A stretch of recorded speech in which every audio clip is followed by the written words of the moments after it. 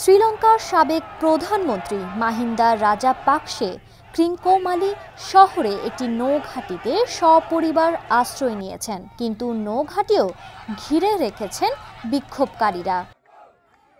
সোমবার তুমুল বিক্ষোভের মুখে প্রধানমন্ত্রী হিসেবে পদত্যাগ করতে বাধ্য হন মাহিন্দা রাজা পাকসে তবে তাতেও জনমনে ক্ষোভ কমেনি। সেদিন রাতে হাজার হাজার আন্দোলনকারী রাজাপাকসের বাসভবনের মূল ফটক ভেঙে ভেতরে ঢুকে পড়েন। তারা রাজধানীর ট্রেপল ট্রিস বাসভবনের মূল দোতলা ভবনে হামলার চেষ্টা করেন।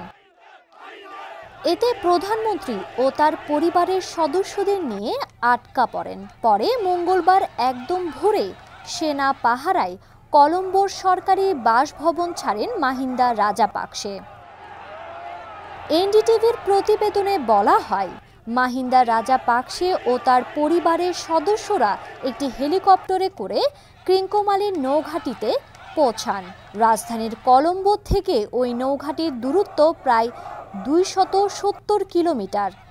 সেখানেও বিক্ষোভ চলছে। শুক্রবার থেকে শ্রীলঙ্কায় জরুরি অবস্থা জারি করা হয়। বিক্ষোভের লাগাম টানতে এরপর জারি করা হয় কারফিউ। মঙ্গলবার কারফিউ জোরদার করতে হাজারো সেনা ও পুলিশ মোতায়েন করেছে শ্রীলঙ্কা সরকার। উম্মেরাহি সমকাল।